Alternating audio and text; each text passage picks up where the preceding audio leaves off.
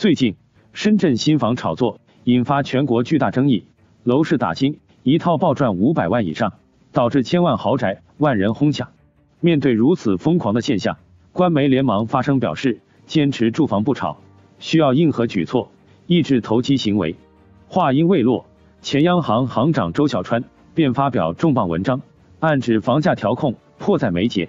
十一月二十七日，周小川在央行研究第三期发布文章表示，过去看似很成熟的通胀度量，现在看来并不理想。当前的度量显然存在着忽视投资品价格和资产价格的问题。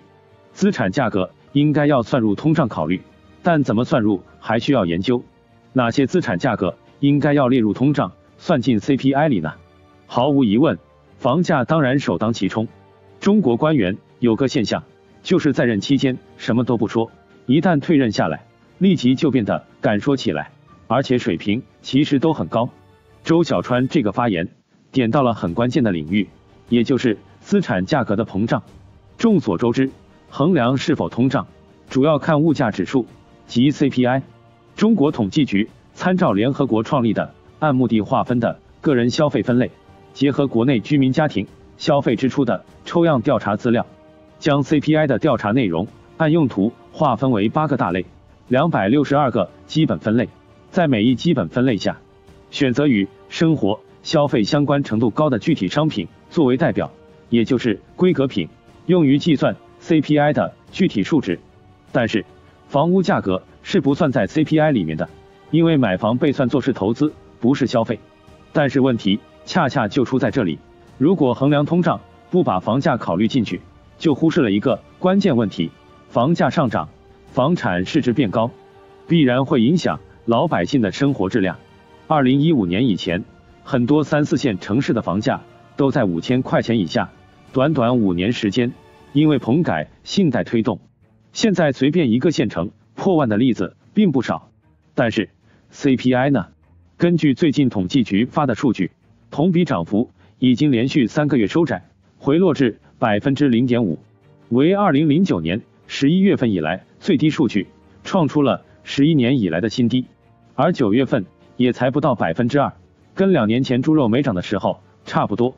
按国际标准，百分之三至百分之六的 CPI 指数才能算作通胀。所以，现在的通胀指标真能反映现实状况吗？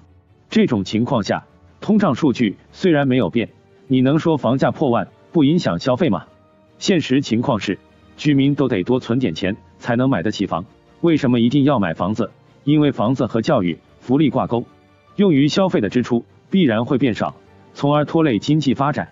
另一方面，资产价格除了影响到企业的扩大再生产，还涉及基础设施、环境保护等公众性消费问题。也就是说。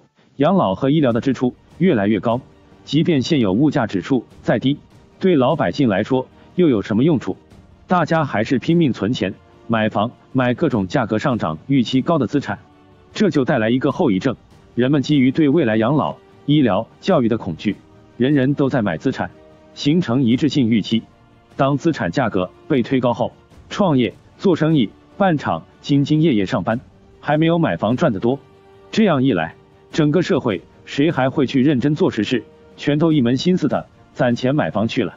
如果没记错的话，CPI 应该是为了反映人们的生活成本，体现人们的消费现状，提高人们的生活品质。如果房价比猪价更能体现人们的消费现状，CPI 就应该与时俱进进行更新。目前的 CPI 数据是统计局根据居民消费支出的比重，给每个分类定一个权数。简单来说，就是人们买某类东西花费越多，该商品在 CPI 中占的权重越大。在二零二零年的疫情之下，如果把买房看作是一项消费的话，房地产消费的情况仍然好于一般消费品。据中国统计局的数据，二零二零年前十个月，社会消费品零售总额三十一万一千九百零一亿元，同比下降百分之五点九。那么房地产消费呢？还是统计局的数据。全国商品房销售额增速为百分之五点八，和社会消费品零售额相比高下立判。比较有意思的是，和房地产相关的消费里面，家具类为负增长，负百分之八点七，建筑装潢类为负增长，负百分之六点二。这也说明，确实有一部分人只是单纯的买房，而不是拿来住的。现在全国房地产年销售额高达十六万亿，如此巨大的交易量，却没有办法反映到物价指数中。即使已经把房租纳入，所占权重也没多少。把房价变化纳入通胀考虑，表面上只是一个指标的变动，实则影响整个社会对通胀、房地产、金融体系、消费水平的评价。举个例子，近两年以来，深圳、宁波、杭州、东莞等地房价上涨较快，苏北的衢州、淮安、盐城以及浙江的绍兴、金华，涨幅也都超过了百分之十。这部分房价变动就应该细分到当地的通胀体系中。因为房价高涨，必然会挤压当地居民的消费支出水平。作为吸纳六成居民财富的市场，房地产已经和经济高度捆绑。当楼市开始影响货币政策、产业转型时，早晚都要告别大拆大建式的增长。接着，周小川的文章指出，在人口结构变化之下，很多年轻一代上有老下有小，到手可支配的收入并不多，他们感觉未来生活压力大。这种预期。不是现行通胀度量所能反映出来的。就算有政府补贴，消费者会预估到财政赤字和累计债务越来越大，其中包括地方赤字和隐性债务。那未来迟早要加税，或用某种形式的通胀来由居民承担。这就是羊毛出在羊身上。以上这几段话其实就是一个核心思想：现在的物价体系是没办法反映真实的生活成本。既然不真实。那根据该体系做出的研究，决策基础就不复存在了。所以，把资产价格包括房价纳入物价指数来考虑，也就会更合理一些。一言以蔽之，人们对未来生活是否有信心，光看消费指数的变化，参考价值已经不大了。所以，不包含房价的 CPI，犹如给汽车拆除了车速表，让管理层没办法感知到经济的冷暖，极易造成货币超发。CPI 这个经济报警器失灵，与之对应的调控手段也形同虚设，这都给经济埋下了隐患。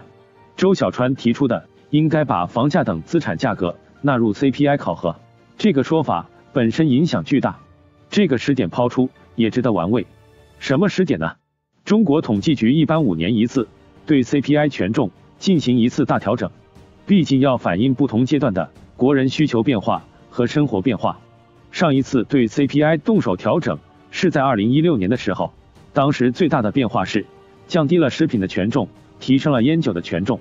据国信证券的测算，二零一六年中国统计局把 CPI 中食品的权重从大约百分之三十二降低到百分之十七至二十一，烟酒权重则从百分之三点五左右大幅提高到百分之五点五至百分之六点五。二零二一年，中国统计局。即将再次调整 CPI 的各项权重，那么周小川的文章显然在提醒相关部门，是时候把房价囊括进去了。接下来，周小川还特别提到，如果资产贵了，养老投资的回报就会降低。未来养老金和医疗支出都很大，依赖投资回报且具有长期性。如果资产价格很贵，债券收益率也很低，那么人们为养老投资几十年，但能够领取到的养老金数量。是不足的。养老金讲究安全，养老金投资的底层资产里，债券等保守低收益资产是核心。如果货币政策太松，导致债券收益率过低，实际结果是养老金压力会越来越大。除了提高投资水平，从货币政策的角度来看，周小川给出了另外一个思路：控制货币政策，别让养老金变毛了。控制货币政策，引入资产价格，把房租换成房价。把房价权重提高到适度比例，显然最为合适。对养老金收益率来说，要控制货币政策，在货币政策里还需要定向控制房产收益，只有这样，才能让养老金收益率维持在相对高水准。